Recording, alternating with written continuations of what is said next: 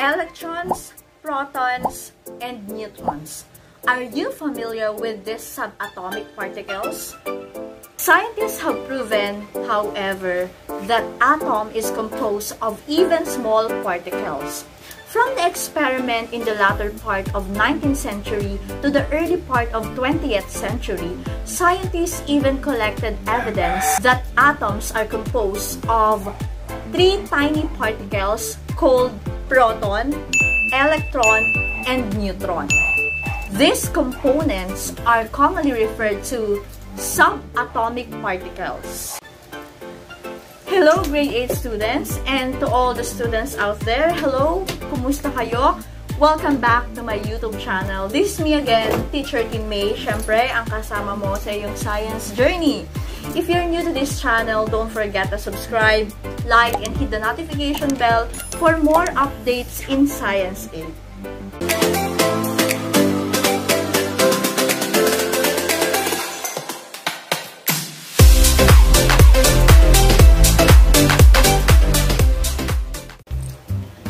We are now on our fourth week of our quarter 3 in Science 8. And for today's vlog, module 4 na tayo, we're going to discuss about atoms inside out. And the common questions that you have to learn for this lesson is, number 1, what makes an atom? Number 2, how do these components differ from each other? Number 3, how are these components arranged inside the atom? And number 4, how is atom differ from an ion? Okay, so in your earlier grade level, so you studied about a magnet. So ano ba ang meron sa magnet? So yung magnet, di ba meron silang two end pole. Okay, we have the south pole and the north pole. Now, Okay, ano ba ang nangyayari kapag yung dalawang magnet parehas na north ay pinagdikit ninyo? So, di ba ang tendency niyan is they move apart. So, hindi sila nagdudugtong. So, pag north to north at pinagdugtong mo, they move apart. How about if you put both south ends of the two magnets? Okay, yung kabilang part naman. When you put them together, south to south, same observation. So, they will move apart. But, when you place north and south ends of the two magnets next to each other, they attract. Ano po? Okay. So, what does it indicate? This observation only indicates that like ends repel and like ends attract. Electric charges or simply charges either positive or negative charge behave similarly. That is, like charges repel or push away each other and unlike charges attract or pull towards each other.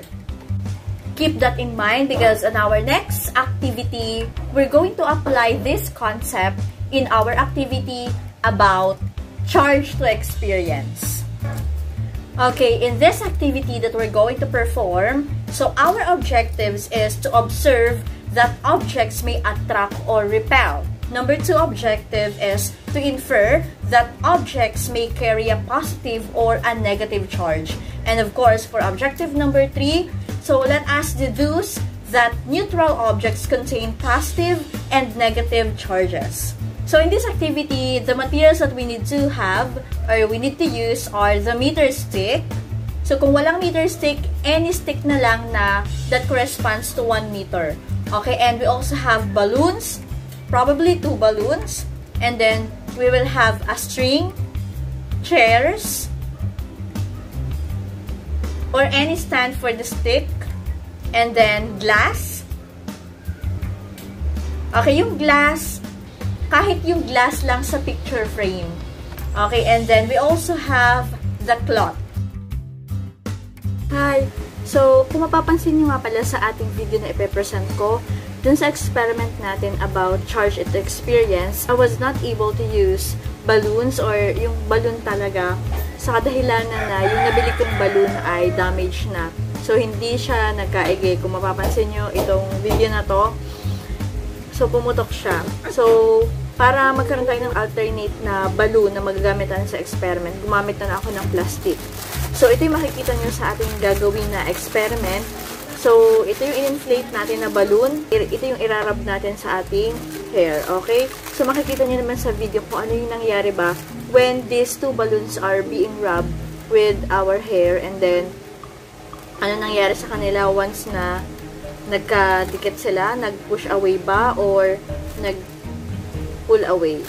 Ayan. And then, of course, ayun na nga. So, panoorin niyo yung ating video para mas maintindihan kung ano yung experiment. And, uh, somehow, dahil nga medyo improvise yung ginawa nating balloon, may some error siguro or hindi niyo masyado nakita kung paano nag-pull or kung paano nag-push away itong dalawang balloon. So, meron akong ilalagay ditong link Okay, or tingnan nyo din sa description box yung link ng another vi separate video na makikita nyo rin kung ano ba ang nangyayari talaga kapag balloon na mismo yung ginamit natin. So, somehow, yun din naman yung nangyari dito. Kaya lang medyo minimal lang yung makikita nyo kung paano talaga siya nag-repel yung dalawang balloon. Okay. So, panoorin nyo yung video na to and then panoorin nyo rin yung video na isasend ko yung, ilal ilalagay ko dito yung link Okay, ito rin another. Nasa YouTube din siya. Okay, let's watch. Procedure number one, inflate the two balloons. Tie each using a length of string. Place the meter-long stick across two chairs and suspend the two balloons so that they hang freely about 2 inches apart.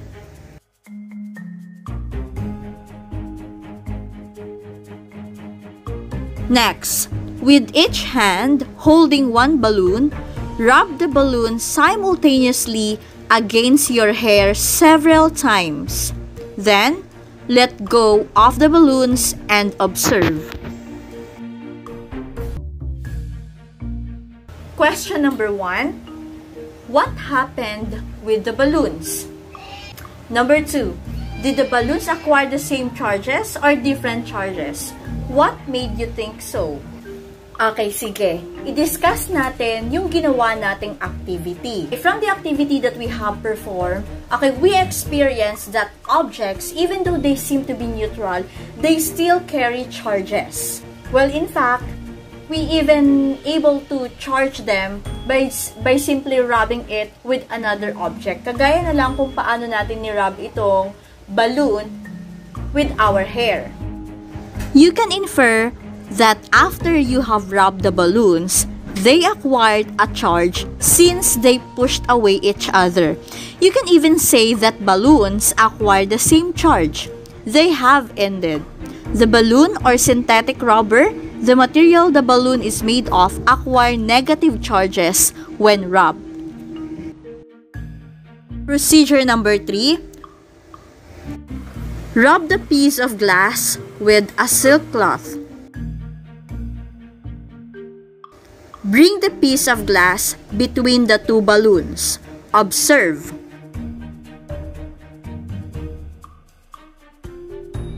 Magkahiwalay. Ano nangyayari sa dalawang balloon? Lumalapit sila doon sa glass. They move towards the glass. Tanggalin ulit natin. So, di ba, magka, oh, magkalayo. Insert ulit natin sa gitna. Okay? Oh, look at the two balloons. They move toward the glass. How are you going to describe the charges acquired by the glass and the balloons? Are they the same or not?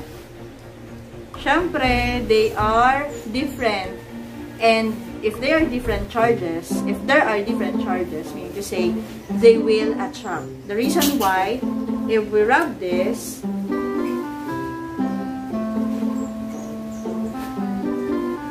we put this in between the two balloons, okay, they attract. Ayan, pupunta sila. Isn't it amazing? How about the rub glass? What charges do you think the glass carried after it was rubbed with the cloth? Yes, tama kayo. Yung glass natin is positively charged since the negatively charged balloons were attracted towards the rubber glass. Okay, from here, pwede nating sabihin that objects are electrically neutral or simply neutral but they still carry electrical charges. Pero saan nga ba galing itong mga charges na to? Noong nakaraang mga vlog natin, napag-aralan natin na ang matter is made up of tiny particles called atom. At lahat ng mga object na nakikita natin, kahit yung mga bagay na ginamit natin dito sa activity number 1 natin, which is yung balloon at mga glass, they are made up of atom. And these atoms are electrical in nature. Atoms contains particles with positive and negative charge. Proton is a positive charge and electron is a negative charge. And remember that atoms in their most stable state are neutral with an equal number of protons and electrons. And another particle of an atom is what we call neutron. Okay, from the word neutron, so para siyang neutral, meaning to say, hindi siya nagke-carry ng positive or negative charge. Okay, now, let us discuss some properties of the three main subatomic particles of matter which are the proton, electron, and neutron. So, may papakita ko sa inyong table. So, dito natin makikita ngayon yung kanilang properties. So, we have here the table that shows the subatomic particle. We have also the symbol, the charge, the mass and grams, and of course, saang location ba ng atom natin mapatagpo, matatagpuan itong main subatomic particles of an atom. Okay, so let's start with the electron. So, ang symbol natin ng electron is E negative for the reason that electron is negative charge. So, proton, this, okay, remember na yung electron, so small letter E lang yan, okay? And then yung proton naman, So, the symbol for proton is P positive.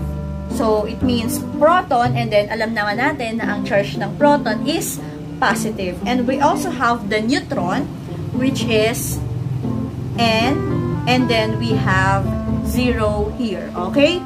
Now, what is the charge of this subatomic particle? So, obviously, ang charge ng electron is negative. And ang charge naman ng ating proton, that is positive. And the charge of our neutron is zero. It means it, it does not carry any charge. Okay? Now, how about for the mass and grams of the subatomic particles? Okay, for electron, we have 9.109 times 10 to the negative 28. Okay? Grams. Okay, so ang unit niyan is grams. So, ang electron is 9.109 times 10 to the negative 28 grams. And for the proton, we have 1.672 times 10 to negative 24 grams. And for neutron, neutron, we have 1.675 times 10 to negative 24. Okay, now, saan naman natin makikita ang location nitong tatlo? Okay, when it comes to location, so the electron could be found outside.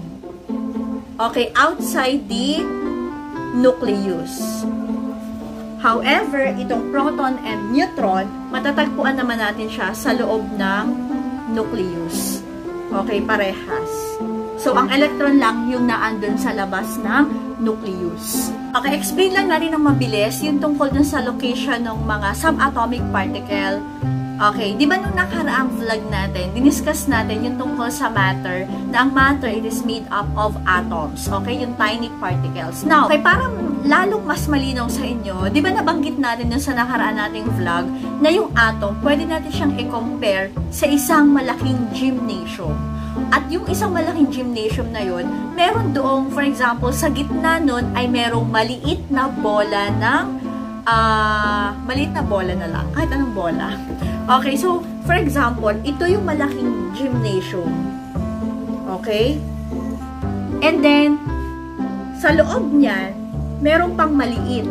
Okay, yung maliit na yon, ito yung nucleus na tinatawag natin. So, sa loob ng nucleus, nandiyan yung positive at saka yung neutron.